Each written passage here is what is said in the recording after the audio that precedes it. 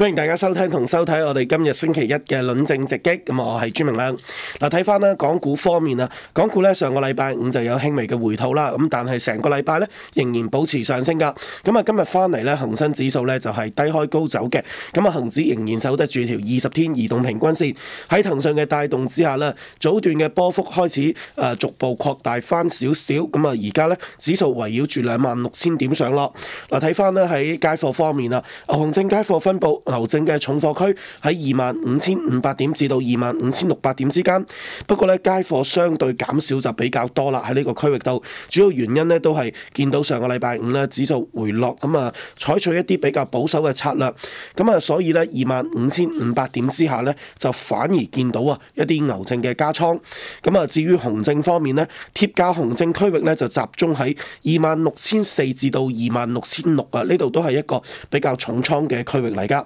嗱，如果你話睇好恒指持續反彈啊，咁啊考慮到目前呢恒生指數嘅引伸波幅仍然處於一個近期低位啦，建議可以留意認購證 call 輪㗎。咁啊，發興恒指 call 輪二二九四零二二九四零嘅行使價呢就兩萬七千點，實際槓桿有十一點六倍，兌換比率係九千對一嘅，明年一月底到期。咁啊睇淡嘅話，如果想喺高位誒做翻啲淡倉，可以留意發興恒指認沽證二五一八零。二五一八年嘅行使價就兩萬四千點，出年嘅三月底到期嘅 put 輪，咁啊實際槓桿有八點一倍，而兑換比率咧就八千對一格。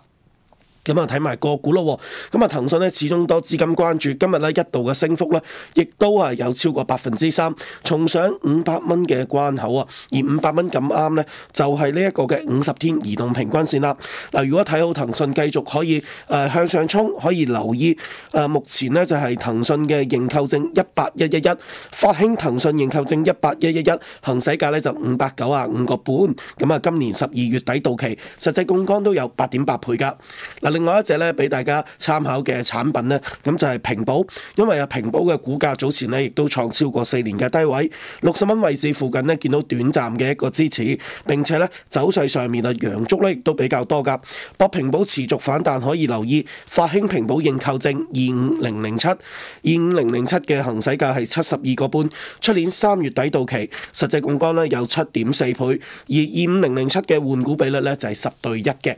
好啦，以上咧就係今日嘅论证直击。